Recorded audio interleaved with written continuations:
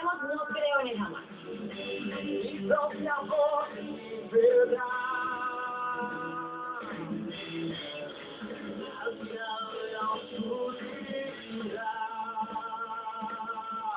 Sobre seu rosto, na solidão.